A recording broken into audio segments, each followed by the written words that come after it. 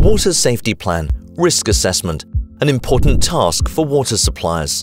Drinking water must be pure in terms of taste, odour and appearance. It must not contain any pathogens or substances harmful to health.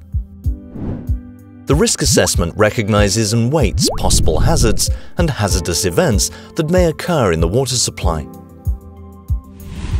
A risk as defined by the Water Safety Plan concept is the potential damage caused to consumer health, of the sensory quality of drinking water or the technical security of supply. For example, due to the intrusion of animals into elevated tanks, an increased iron concentration in drinking water, or malfunction of equipment due to corrosion.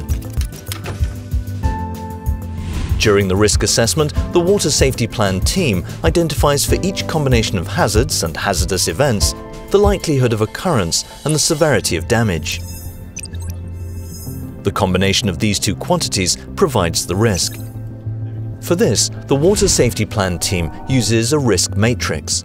A frequent likelihood of occurrence combined with a high severity of damage results in a high risk. A rare likelihood of occurrence in combination with a low severity of damage results in a low risk.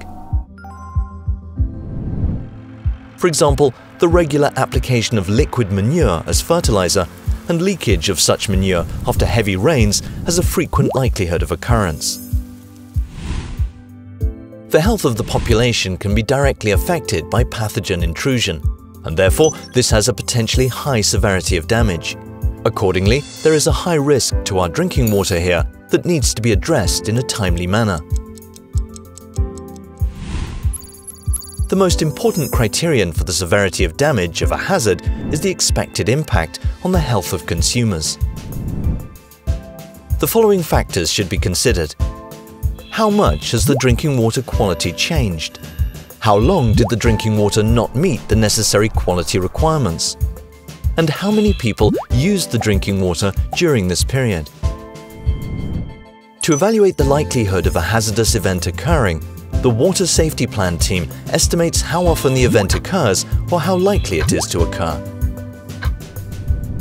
Once all risks have been estimated, appropriate actions must be determined. These can be taken once, such as the rehabilitation of a defective wellhead, or the removal of dangerous goods from a warehouse in the catchment area. Or they can be continuous, such as filtration or UV disinfection of drinking water in treatment plants. Through risk assessment, the Water Safety Plan team is able to compare and prioritize hazards and hazardous events and to recommend reasonable improvements and necessary investments. For more information on the Water Safety Plan risk assessment, please visit these websites.